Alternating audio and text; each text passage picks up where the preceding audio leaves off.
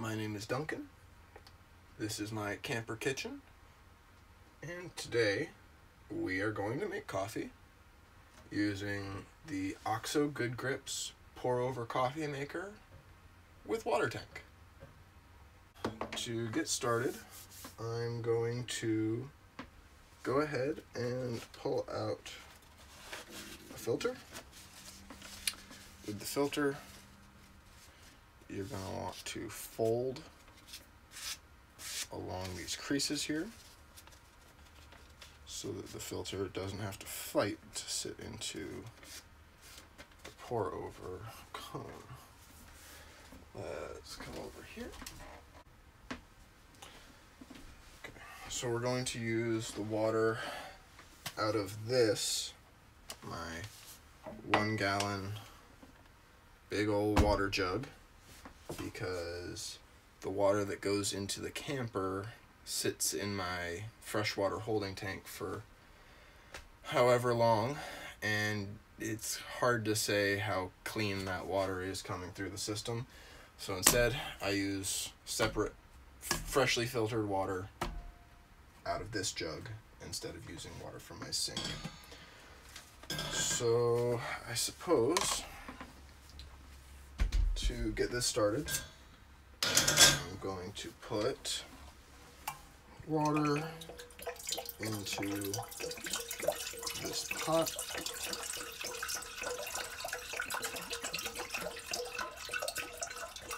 I would recommend pouring more water than you think you're going to need for the cup of coffee. Um, keep in mind some of it's going to evaporate, as well as you're going to need some of this hot water to rinse out your filter paper. So I usually fill the pot about halfway.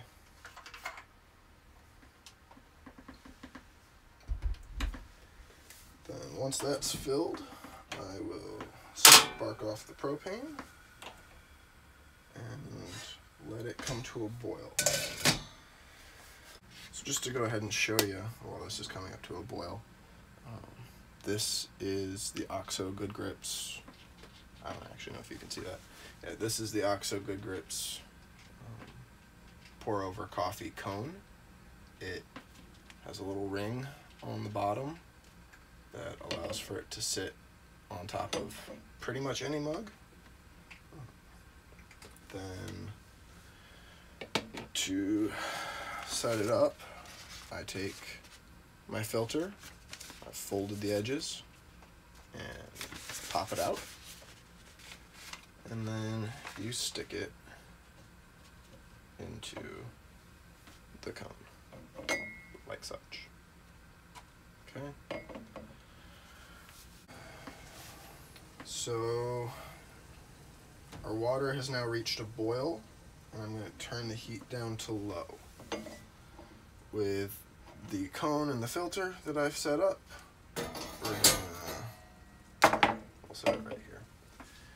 I take the lid off. And we're just going to dump a little bit of boiling water into the filter. Let it drain right through. Ooh, that's one. Okay. While that's draining, I'm going to break out my Hario conical burr style coffee grinder. Uh, I will link this in the description of the video as well as a link to uh, the OXO pour over. Take my coffee scoop. Today I'm doing the Fisherman's Blend from Cutters Point Coffee Company. They are a local coffee roaster. Mm. We're gonna go one, two, and three, plus an extra little scoop for good luck, because I like strong coffee. All right attach the handle.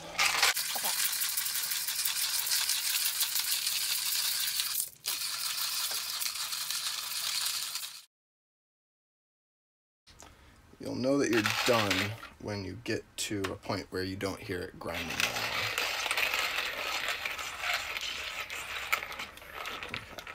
So like that. It's just spinning in there freely now, which means that all of the beans that were in the hopper have now been ground and are down in the bottom. So I take the handle off, tank off, and go ahead and we'll dump in the coffee grounds.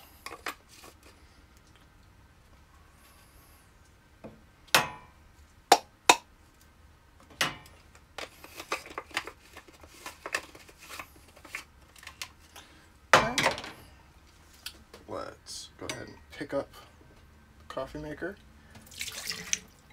Dump the hot water back out of your, your mug. Your mug is now preheated, which is a nice thing because you don't want your mug to suck the heat out of your, your freshly brewed coffee.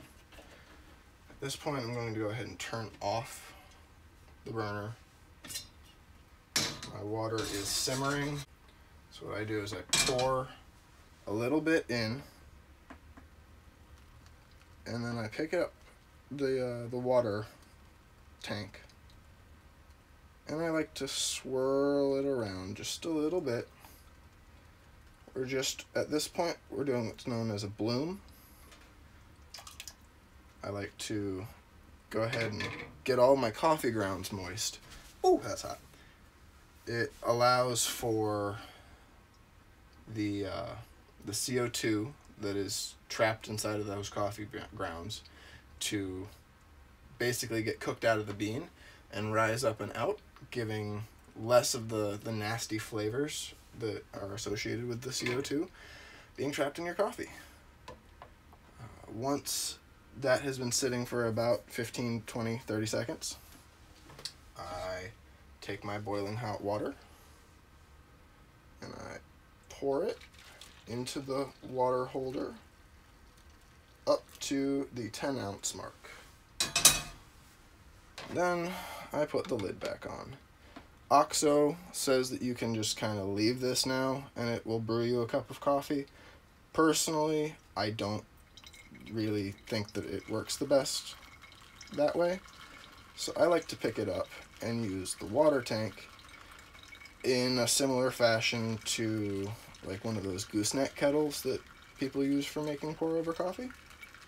Um, I think that it gives a fairly nice even distribution of water through the coffee grounds and it like it pre-measures out how much liquid you need so it makes it fairly simple uh, for making pour over coffee and now that I'm basically down to the bottom of the, the water reservoir, I stick it back on top and just let it go ahead and drip on through the rest of the way. Mm-hmm. You can see we are now out of water in the reservoir. We have maybe a second or two left in the drip. Let's see it's pouring out some beautiful coffee. Mm-hmm. Our cup of coffee is now done brewing. Pick up the brewer, finish its drip, set it right on top of the lid, and you have a delicious cup of coffee ready to drink. And let's go ahead and take the first sip.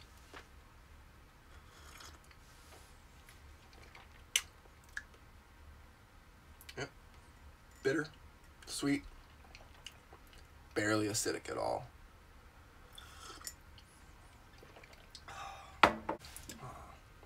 This is good. I'm going to take it with me. Thanks for stopping by Duncan's Camper Kitchen. I had fun. I hope you did too. And I'll see you next video.